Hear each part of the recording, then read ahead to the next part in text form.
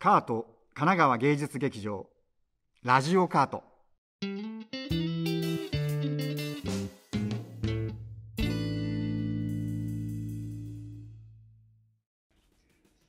こんにちはカート神奈川芸術劇場芸術監督の長塚圭史です。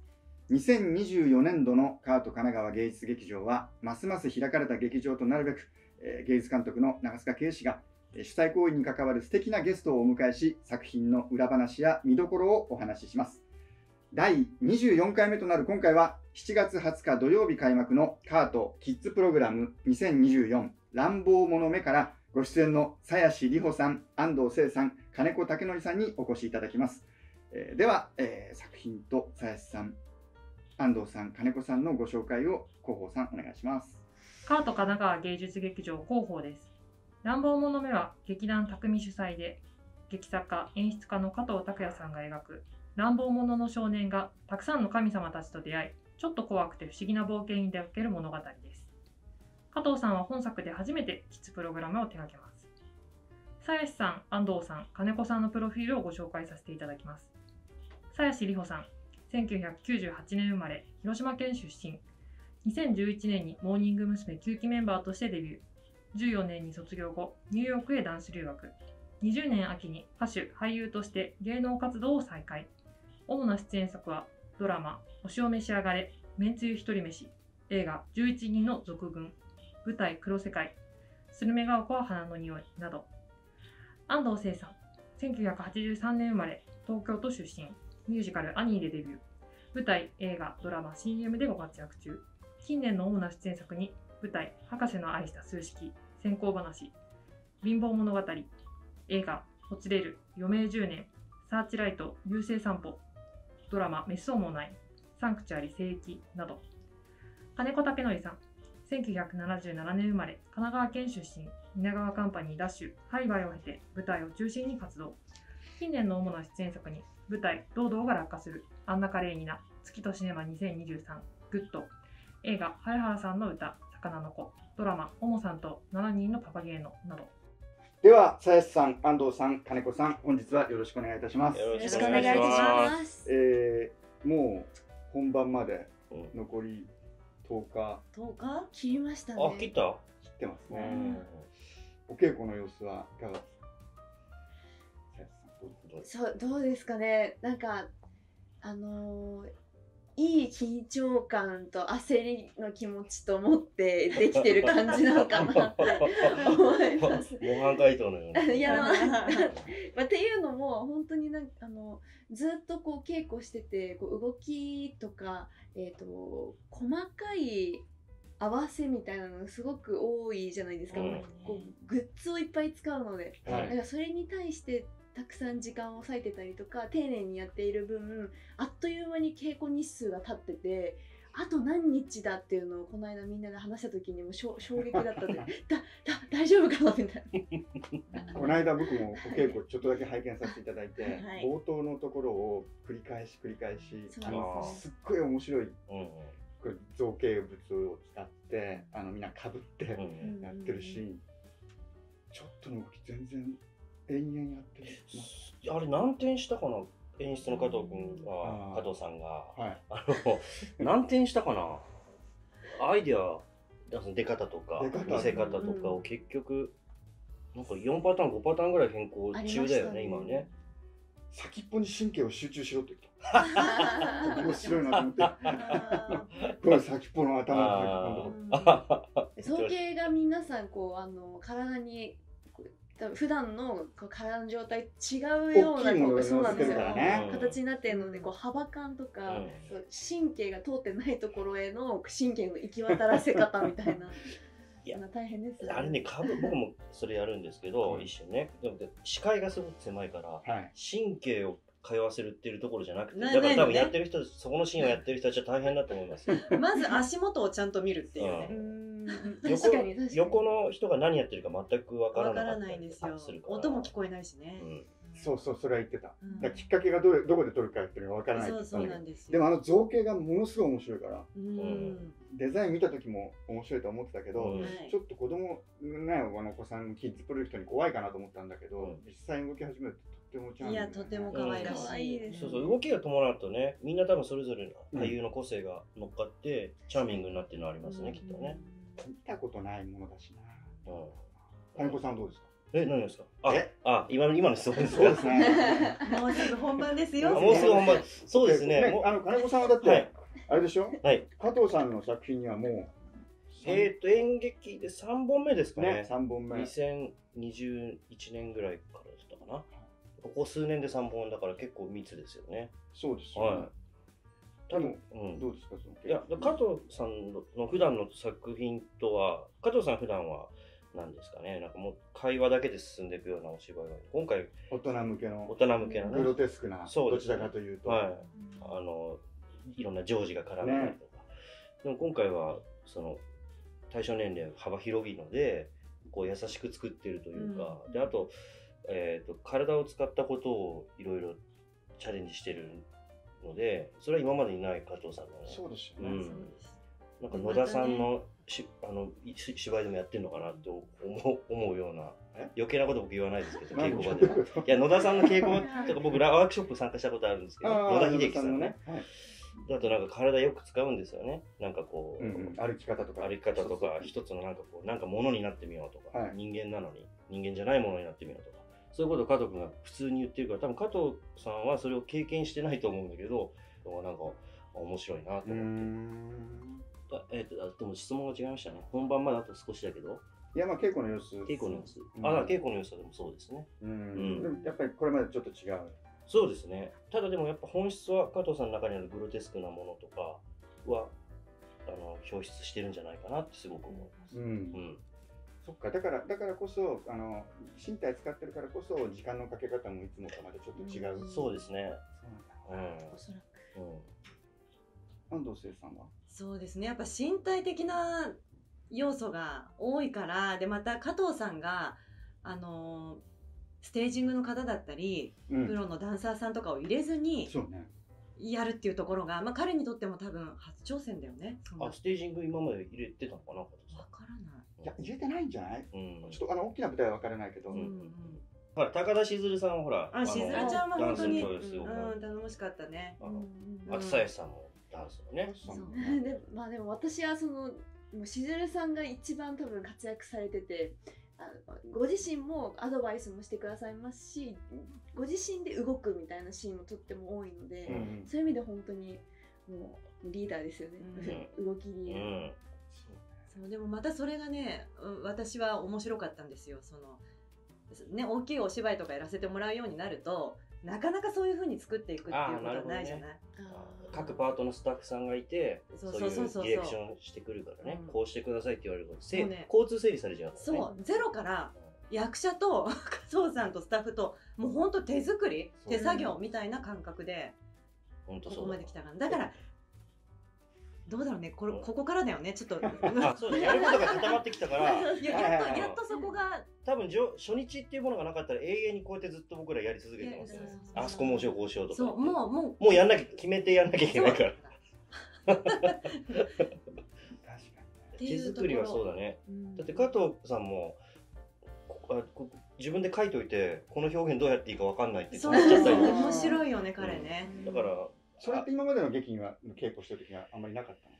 ここまでのことはなかったですね。ただやっぱり場面シーンの点シーンが違くなる時ってこう時間と場所が変わるじゃないですか、うん。その時にどういうふうにシーンを展開するかっていうのは前のその普通の会話劇の時にも加藤君が悩んでることあったけどもう少し明確にビジョンがありましたよね、あとはやっぱ子供が見る演劇っていうところをすごく大事にしていて、うん。うんその中の表現っていうのがまた探るのが難しかったかな。楽しかったけどね、うん。うん子供向けの劇うんっていうのは皆さん経験があるんですか？私ないです。あ本当？えあんじゃん。ああそうかそうか。あいや昔じ自身がやっていた。じゃあ子役をね？子役をやっていた。あでもあれは子供向けか。だって兄なんて子供も子供でも大人になってからはない、あ本当。うん、ないです発想なんか違うところってある？うーん。どうなんだろう。ある？どうなんだろう。でもあえてその子供に寄せる必要もそんなにないのかなっていうのは私の中にはあります。なるほど。ううんうんん、わかると思うし子供って。うんうんうんうん。うん。お自身にね、お子さんがいるから。あそうねそうなんです。傾向をちょっと覗いたって噂を。そうなんですよ。もう皆さん快くね、こう迎え入れてくださって。可愛かったね。癒されました。癒されたねはい。一日だけ？一日だけでもそれもねまずねあのその日ねあの実家の母に預ける予定だったのが、うん母が体調崩しちゃってはいでも預け先がないどうしようで加藤さんに聞いたら「いいよ連れてきて」そんな感じでもうそそれもありがたかった、ううんうん。うんやっぱ子育てしてるとそこがね結構ネックになったりするので預ける先がない、うんなるほどあそうだ連れてきていいんだ。そう。もうそそれは本当にありがたかったし、まあ、こんな機会ないからね子供たちに演劇の現場を見せるなんて、うん。うんよっしゃみたいな。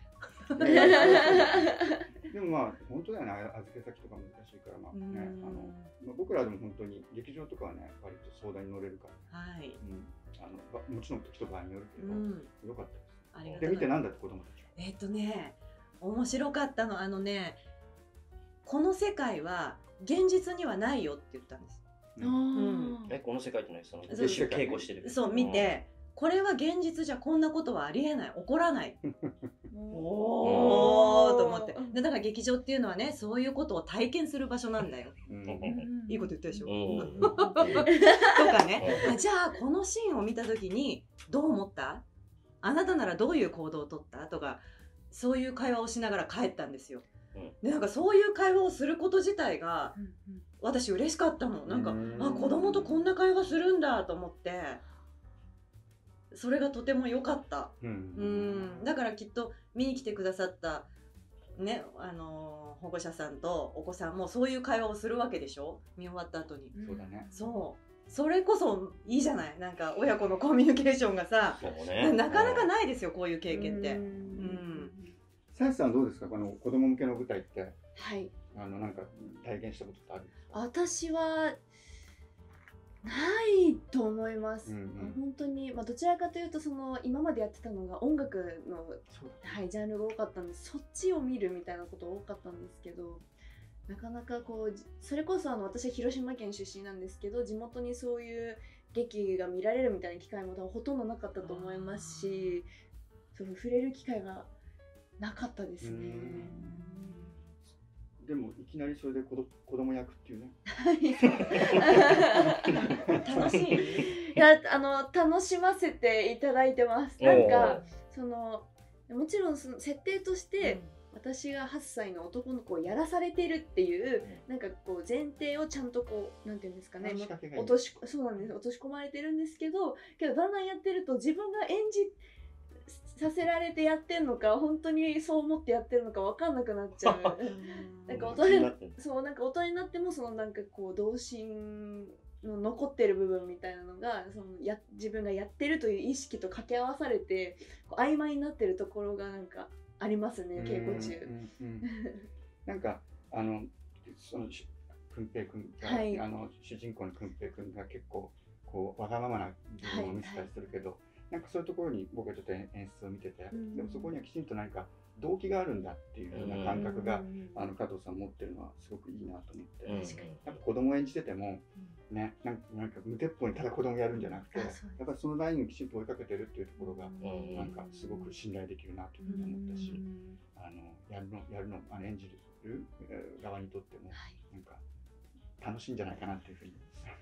そうですね、うんなんかこうストーリーがあってこうくんくんぺいくんがどういうふうに変わって見えるかみたいなちゃんとこう筋はあるんですけどなんか私はた多分そこを追いかける必要はないみたいなことをこう稽古してて感じてて、目の前にあることに対してどう思ってるかだけを積み重ねていくのがあなんか今回はすごい大事なことなんかそのストーリーを追いかけようとするともうそう見てくれみたいな感じの芝居の仕方になっちゃうのでそれがなんか今回今までない感覚でお芝居できてるなと思います私そはんなこと考えてやってたんだえね。巻き込まれていってるもう素晴らしいですよ。すごいね。頑張ろうねあの出番のさ、はいさあの俺らが出てくときにさ袖でさ、いあのテレビのモニター見ながらその正面で行われていることを確認しながら出てくる。あ袖に置かれてるモニターでね、わはい、その時に僕は安藤さんとこうモニターで見ながら待機しながら。あのくんぺいくんが一生懸命頑張ってるラストの方のシーンあるじゃん。はい。なんかけなげだねって言って、なんか二人でね、なんか、この、なんかね、なんかそれでサイスさんとくんぺいくんとダブって見えて、えうん、なんか、なんかね、あの、なんか人生のどっか、なんかの門出の時にはなんか、いいものあげたくなるような、なんかな何言ってんだかわかんないけど、なんかね、ご褒美あげたくなるような、なんか、懸命さがなんかけなげで、なんか、もう大人だから。ああ、そうか。そうか。でだからまあ、実は26なんです。ね、でもあの時子供にしか見えないな、けなげで。あかわいそう、頑張れと思うよいやでもね。確かに、うん。そんなすごいこうあの両親ほ両親のように年が離れてるわけじゃないのにパパとママのように感じてる。そうね金子さんがお父さん役で安藤さんがお母さん役。あそうなんですあります。もう。それはよかったね。よかった。よ安心したよよかっね。変なおじさんと思って。よく喋るおじさん。ねよく喋るおばさん。実際そうだけど、それは思われてると思うよ。そうでね。ずっと喋ってんなみたいな。稽古始めるよっつうのに喋っててね。金子さんはお父さんの役。はい。だいぶ変わったところに飛躍もしてくるよ ねあ劇中ですか？劇中ちょっともどもどきお父さんみたいなそうですね。うん。今回の父親像っていうのはどういうふうに？そういうそれ話しますね。いやいやいや父親像っていうか、そうですね。まあメインになるのはそのなんか劇中どんどん進行し、げうん、なんていうんですか？あの、なんだ偽物のお父さんをやってる時なんですけど、偽物のお父さんが出てくるといいよねうん、そう。なんかだからそれがすごく偶話的でいいなって僕は思うんですけど。お父さん像っていうか、だからあの時は、あの、あ、今思いついたけど、だから訓平に寄り添うために生まれてきた存在なんですけどね、僕は劇中の中で。でもその、そのあの偽物のお父さんねだから自分の中ではお父さんって自覚はないんだけど、だからじ自分本位で楽しんでるわけです、最初僕は。生まれてきたことに対して。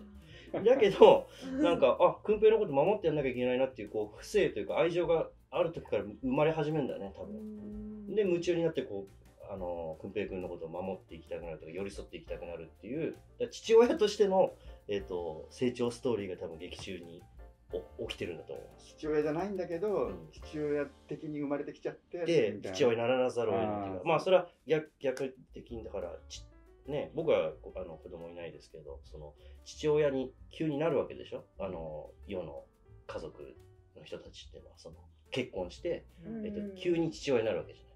だからだんだんと父親になっていくんだろうけどそのようなことが行われてるんだろうね。俺の中でも。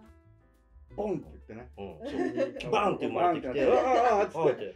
生まれちゃったらどうしようっつって、あ、なんか、うん。あお父さんとして生まれてきちゃったけどどうしよう。変だよね。子供として生まれてきたんだけどだいぶスパン急いで。あっという間に。あっという間。に。でもなんかあれはとっても面白い設定だよね、そうですね。すごい胸を打ちます。ああうん、加藤拓也さんやるじゃいないですか。やあれはやっぱり素晴らしいよ。素晴らしいアイあのうん。ああアイデアだというか。うん。とてもいいです安藤さんお母さん役。はい。どういうお母さんなんですか？普通のお母さん。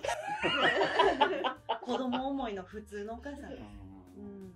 いや、やっぱりリアリティがあるんですよリアリテね。ィあるよね。うん。産んでるからね。育って生活してるから、叱る時のそうでもね対応が。叱る時のねうあの感じね。あでも家で普段そう そういう風に叱ってるんでしょうね稽古場でも同じような叱り方しちゃったらお母さんは乱暴者にならないでくださいって言われまん 見てるね。す 乱暴者に見えた？ね、だってね、子供たちが見てる目の前で、くんぺいくんのこと怒ってたもんね。そうだよねうんちょっと感情的にもなりながらね。うん。でもちゃんと聞かせるなんかこうロジッ。クみたいなねうん。俺もあのけ稽古見てる時に俺が知ってる安藤聖じゃない僕は結構 10, 10年前ぐらいとか結構一緒にやってて。なるほど。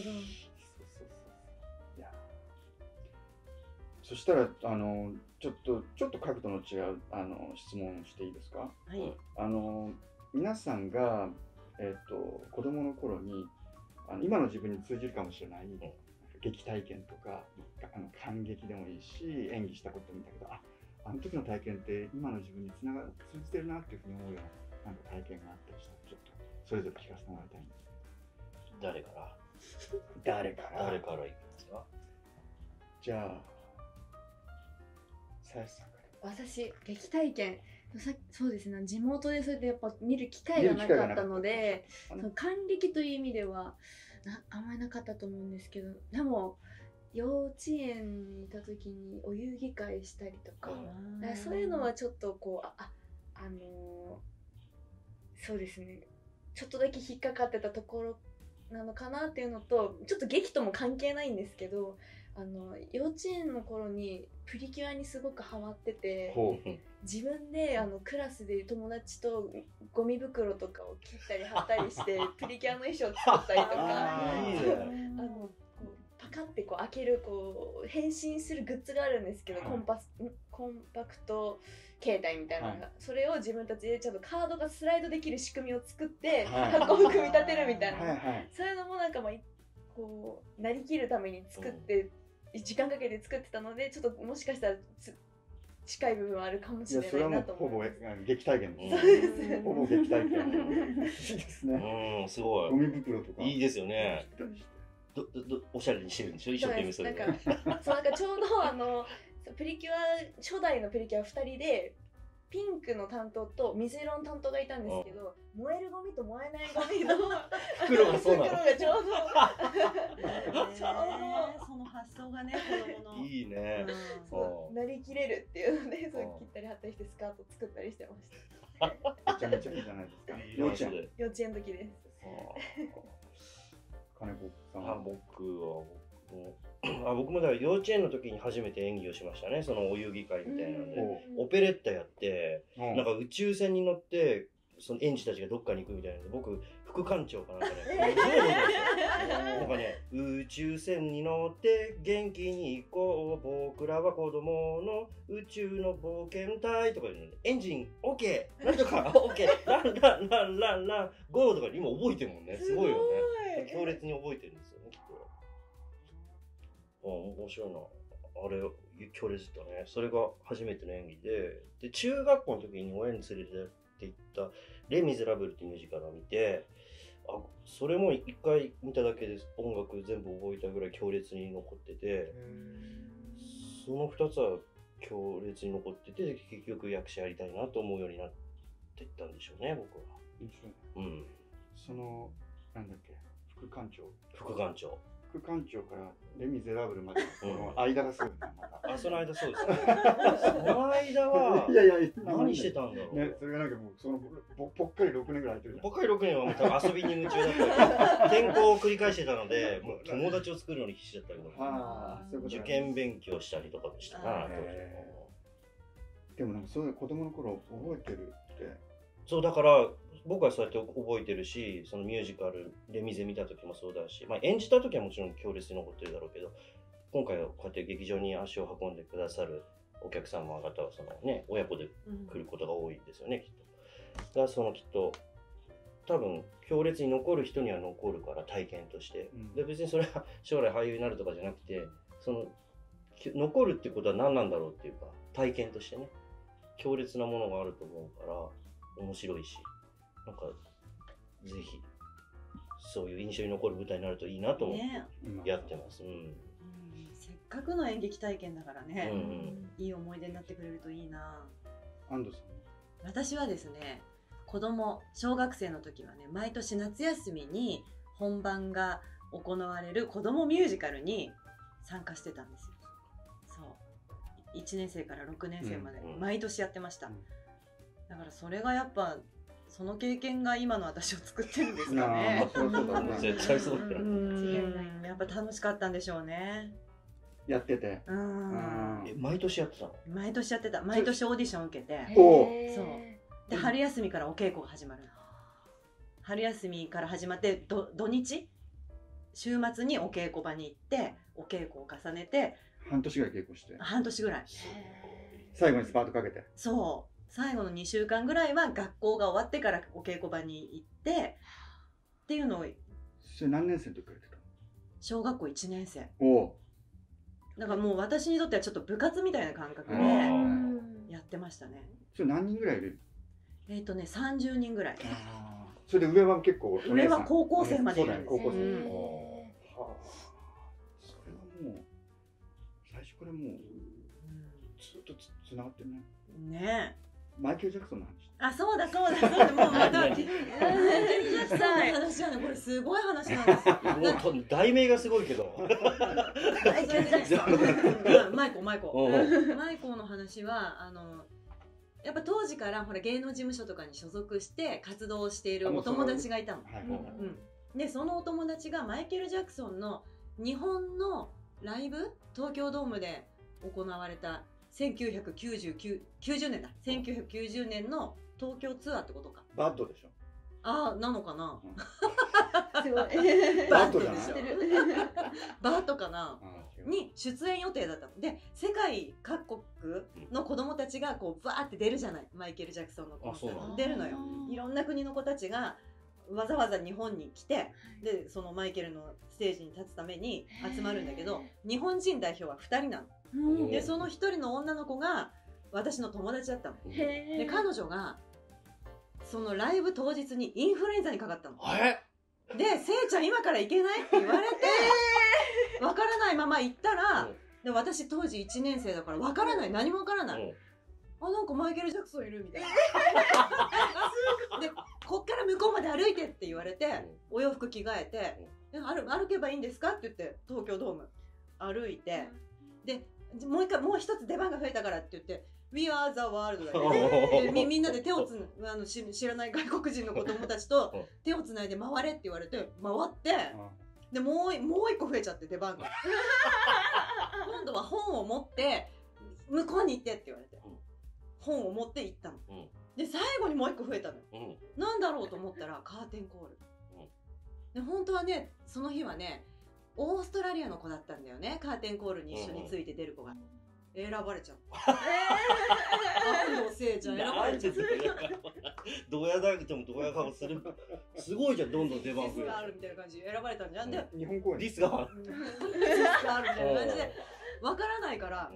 であの客席で見てた母親も「あまた出てきたまた出てきた」って最後に出てきたからびっくりしちゃって、もう本当にラストもラストに一緒に手つないで出てってでマイケル・ジャクソンが横でこうお辞儀するもんだから合わせてお辞儀して 上手行って下手行って真ん中行ってで最後抱っこさしてもらってさチュッおでこおでこにチュッっていうのが来てわーお。っていう体験をしました。ちょっと長くなっちゃった。いやいや。すごいね。すごい。あ、それマイケル・ジャクソンの話だね。すごいでしょ。ただ聞きたくて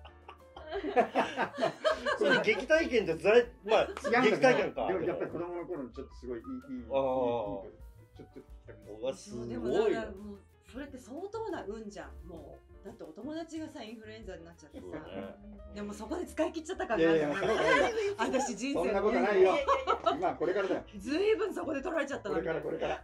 こっからかな。私、運使いすぎてるってよく言うんだよな、このくだり。もうダメかもってずっとすぐ言うの。みんなありがとう。終わりみたいな。いやいやいやちょっとあのよかったですその話と久々にそのけちょっと乱暴者の話に戻すの。戻して戻して。はいマイケル・ジャクソンの話あのなんかこう今回初めての人いっぱいみんなメンバいや、あ、僕は僕はー最初だけ。いやちょっと今今のこう話してる様子見てて稽古場の様子ってみんなどうなのかなと思って。そうですね。こういう体を使った表現とか、うん。音に合わせて動くっていうことに対してはやったことないよねきっとみんな。初めてってのはそういうことですか？いやなんかカンパニーとしてみんなどどんなカンパニーで今ああ稽古場の様子？様子、うんでもきっとそうだよ。あのそういうお芝居をだって Q ちゃんとかうん。りゅうちゃんとか、うん。初めてに近いんじゃないかなしずるさんはさほらねあの体をつってね。ありゅうみんなで一緒にそうやって体使って作ったりすること自体がね。が初めてだから。りゅうちゃんはでもほらもともとなんなんだっけあの2.5次元の。あそうだ。ジュノンボーイだから。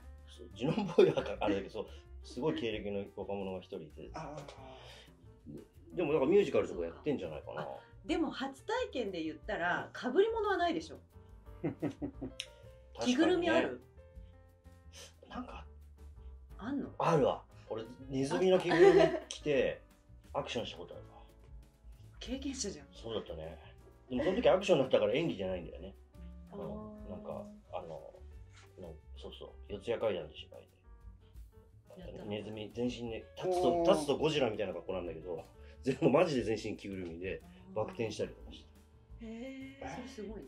そうなの？はい。もうしもう死ぬかと思いました。タケちゃんすごく動けるんですよ。バク転できるかとか言われて「はい」とか言っちゃってそこから練習して。そんなのできるの？身体能力いやもうめちゃくちゃやもう高い怪我するかもしれないからやらないですけど僕はやってましたよ。もうし毎日怖くて出番の前。死ぬかと思ってたから。えー。命削それ何のやっちゃう階段蜷川さんの竹中さんそうかが家門やってああその時代か。広末さんがあななんだななんて役だ。ったヒロインみたいな役うん。そう。コクーンでね。シアターコクーンで、奈落抜いて。ふふんどし一丁でボン回したりもして その話も面白いもうずっと ふんどし着たりその時は本当ふんどしだったりネズミとあとなんかまあ、まあ、いいんですけどね。いやなんかさいあの稽古見るといつもさみんなこうしあの加藤君の指示を待ちながらさそう粛々と静かに稽古してるからさあこうみんなワイワイイワイワイしたりしてんのかなと。あ知ってますよそれはかケイシさんが登場するからじゃないですか。違うよ俺はそんなそうケイシ様がいらっしゃるっていう感じでみんな構えちゃってる。だけるだから芸術監督だからね。そのぐらい細かいさ着ぐるみの動きとかさうん。もうなんかちょちょ違うみたいなんでさ。あこうでまあ話し合いながら作ってるけどああなんかすごいこうこうなんか静かに進んでるのかなと思ったら。ああ全然和気あいあいとうんあ本当。はい。そうかそうか。たたたまたま見見に来た時がそうそう。あのちょっとなんていうんですか？集中集中しなきゃいけない。俺見るときいつも集中モード。やっぱ映像で映像とかで見てもなんか集中モードだ。あ本当に？うん。ただやっぱりあの加藤くんのやりたいことがとても明確だからそこに近づくためにはどうしたらいいんだろうっていうのはみみんなみんなあるかな。あうーん。真剣ですようみん。な、んうん。いや本当にそれはそう思う。で着ぐるみってやっぱりで顔も見えないし、うん。なかなかね難しいんですね。ううん。ん。うん。うん。わからないもん。今喜んでるのかまあ泣いてるのか。そうそう。何もかぶってなければ、話を聞いて普通のお芝居だとこうやって「あそうですね」とか。が全然見えない。すごいさ最初の頃みんなかぶってない時に、うん。その稽古してる時は確かにみんななんか楽しそうにこれやってたんだけど その後かぶってるからはみんな動いてて楽しいのか楽しいのか分かんないけどとりあえずみんな集まってこうやってこうやって話聞いてるけどなんか棒みたいなのが集まってるけど。にみたいな腕組んで。腕組んで。あなんかやってみますみたいな。感じ になってるのが。そういうところ見てるからなんかシュールに見えるんだよね。そうですね。ああかもしれないですなんね。か加藤さんにその神様たちが集まって意見聞いてる時がすごいシュールですあれ面白いね。みんなこぞって写真撮ろうとしてるんだう。ん面白すぎて。そう加藤君がそういう不思議な能力の少年みたいな。そうそうそうそう。なんか集められるみたいな。そして最後に、あの、乱暴者めって、まあ僕もすごい面白いあの本だと思うし、まあ稽古もワクワクするんですけど、乱暴者めの魅力を最後にそれぞれちょっとお話ししていただきます。見どころ。見どころね。じゃあ、さやさん。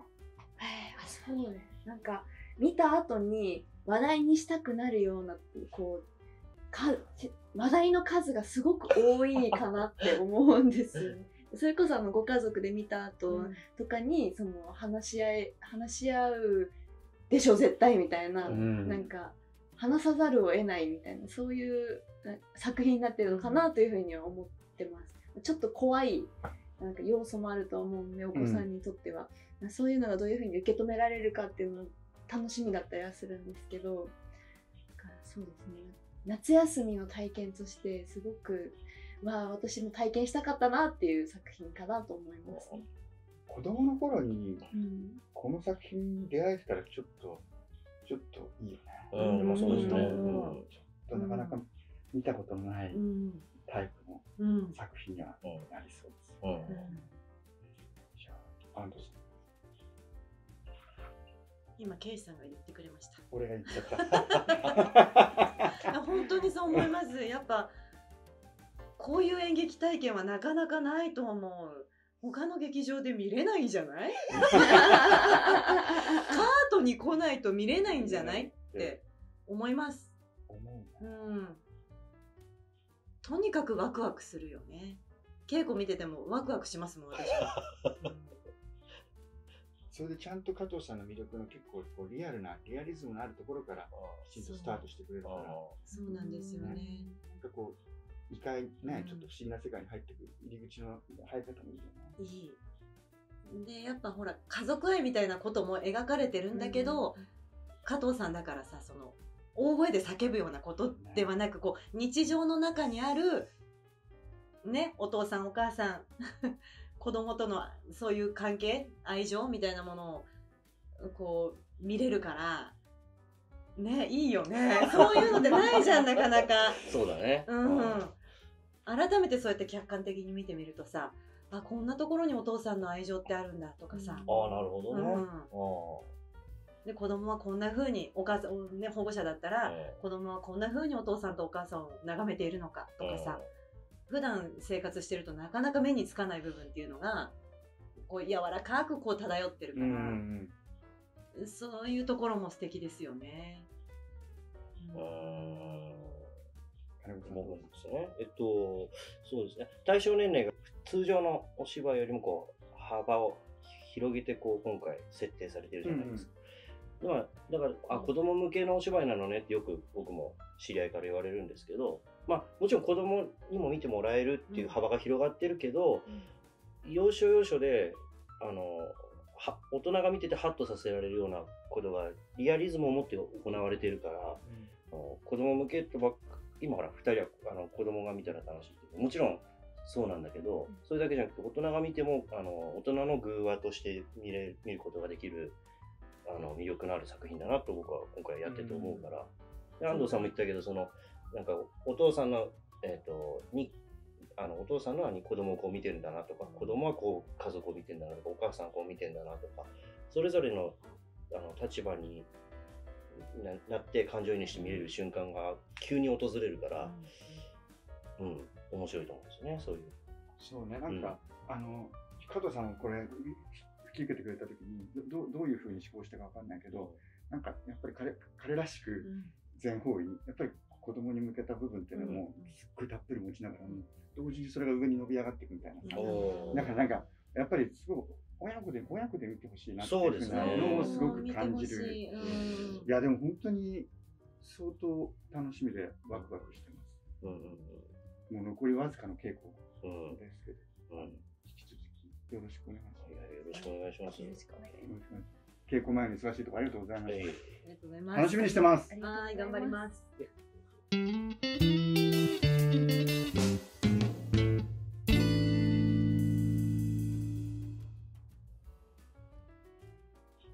さんご視聴いただきありがとうございました。乱暴者の絵は7月20日土曜日から7月28日日曜日まで、カート神奈川芸術劇場大スタジオにて上演した後、いわき松本を回ります。皆様、ぜひご来場をお待ちしております。ここで劇場にいらっしゃった皆様からいただいたアンケートの中から、長塚さんへのメッセージをご紹介させていただきますあ。りがとうございます。今回は7月6日、7日に上演されたカートキッズプログラム2024ペック。ペック面白かったです、面白かったですね。はい。同日に開催されたカートマルシェにいらっしゃったお客様からのメッセージをマルシェも盛り上がりました、盛りね。上がりました。たくさんの方来ていただいてのメッセージをですね、ご紹介したいとはい、思います。お願いします。はい。まず、チェックにご来場いただいたお客様からです。はい。出産後、感激から遠ざかっていましたがうん、今回このような小さい子供から楽しめる本格的な舞台を家族で見ることができ、また子供も心から楽しんでいるようで感無量でした。これからも幅広い年代に開かれた劇場を作ってください。楽しみにしております。だそうですい。やーいや、本当にペックが素晴らしかったですね。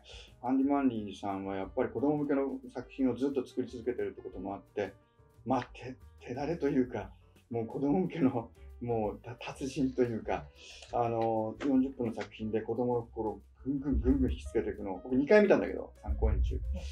いやー本当に。で、日々、日々、どんどん更新していくっていうか、あの良くなっていくんですよ。らやっぱりまたあのアンディさんの作品が日本に来る機会があったら、1回と言わず、あの2回見てみると、おお、ここがまたさらに一歩良くなるんだっていう、あのどんどんあの、えー育っていくっていうのも、そういった意味でもやっぱりすごいアーティストだなというふうに思いました。あのご来場ありがとうございました。楽しんでいただけてよかったです。ありがとうございました。続きましてですね、カートマルシェにご来場いただいたお客様からの、えーメッセージです。近くの某飲食店でバイトをしているのですが、一度お見かけしたことがあるような気がします。確信なかったんですが、おそらく。あ、そうですか。声かけてくださこのマルシェもそうですし、お正月の中華街とのコラボで大きなランタンの設置とスタンプラリーがあったりと、地元と密着した企画があるのも嬉しいです。近所ながら劇場には感激以外に行く用事、口実がなかなかありませんが、カートは感激以外でも立ち寄り親近感があります。実は未練の幽霊と怪物は友人が見に来ていたんですが、カートでやっているならと思い立って当日券に並んでみました。別の劇場だったら当日券を取ってまでの気持ちにはならなかったと思いますが、劇場に対する親近感がそうさせたのだと思います。今後も楽しみにしています。ありがとうございます。いや、結構長く、2021年ですよね、未練の幽霊と怪物というと。そうねはいいや、ちょっと、あの、ご近所でそうやって、あの、応援してくださるお客様がいることが僕らに本当に支えになりますし、やっぱり皆様の劇場だと思ってますんで、あの、今後も、あの、感激以外にも、あの、ご利用いただけ、ご利用していただけるように、あの、様々いろいろ考え、考えていきたいと思ってます。もちろん、あの、感激も、あの、いい作品をどんどん、あの、上演していきたいと思ってますんで、あの、お待ちしてますんで、今後も楽しみにしていてください。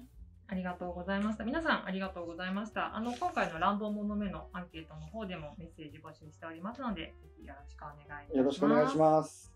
そして、そして、えーカートでは現在、オンラインでの告知寄付を受け付けております。詳しい情報はぜひホームページでご覧ください。また、ラジオカートは、ポッドキャストでも配信中です。ぜひ皆さん、チャンネル登録、高評価をお願いします。では、ラジオカート、次回のエピソードでお会いしましょう。さよなら。